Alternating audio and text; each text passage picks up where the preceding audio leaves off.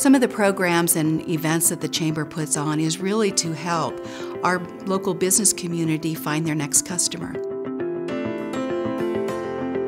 Castle Rock is still a small enough community that people want to know who they're doing business with. The Castle Rock Chamber of Commerce has so many great ways to network.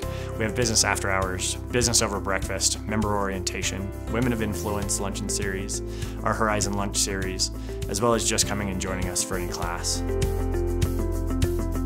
These are all ways of being able to go ahead and connect. Those networking events are really important and our ambassadors are phenomenal.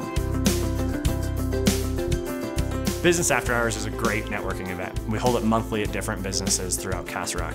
You'll meet new people, do a little bit of business, have some great food, and uh, walk away with some great leads at the end of the day. They're fun. They're, you socialize, you have a great time. You eat, you have uh, beverages. There's all sorts of different things that you can be a part of. We want you to meet your next customer at our Business After Hours. We want you to be able to find new friends. It's, it's an opportunity to really get to know people in our community. Women of Influence is our quarterly luncheon series that uh, brings together a great group to uh, hear a female speaker that's inspirational or has a great story or has done great things.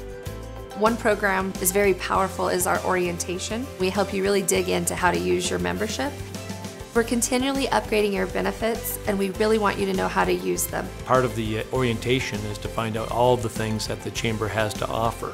There's different levels of the Chamber that uh, should basically suit any business here in Castle Rock. We're here to help your business grow. Elevate your business and get connected today. Contact the Castle Rock Chamber of Commerce.